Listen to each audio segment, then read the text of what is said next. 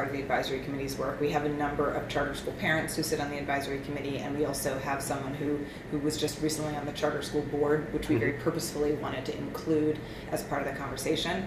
There are a couple of specific policy areas where um, where the, the policy scenarios that we've put out do intersect with charter schools. One, the possibility of inviting charter schools to participate in a choice set. Um, another is around the, the possibility of, of identifying charter schools that could have a matter of right feeder a feeder right to DCPS schools. So those did did come in. Um, beyond that, the committee did not put specific charter policies on the table.